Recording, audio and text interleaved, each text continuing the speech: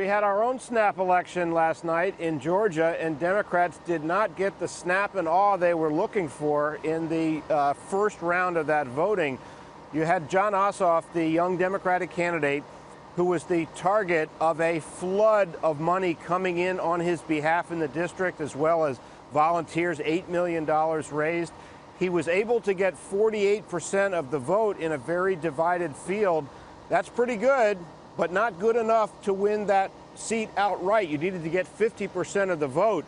Uh, Donald Trump, who intervened in the race at the end with a robocall on behalf of Republican turnout, trying to dilute his vote share, and with a bunch of tweets attacking Jon Ossoff, the Democratic candidate, as a super liberal, uh, took credit last night. He said uh, this was a big win for Republicans. Uh, he was glad to uh, play a part in that.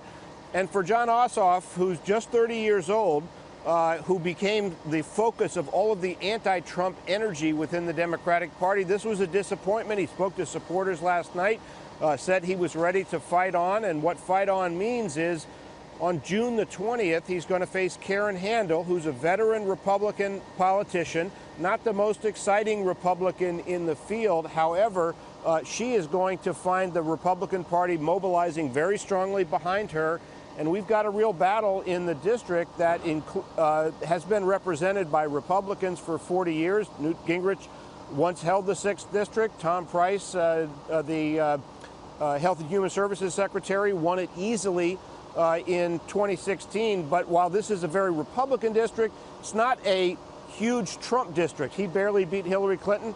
So we're going to have a big fight on our hands and have to redo all of this hype again in June, guys. Hey there, thanks for checking out CNBC on YouTube. Be sure to subscribe to stay up to date on all of the day's biggest stories. You can also click on any of the videos around me to watch the latest from CNBC. Thanks for watching.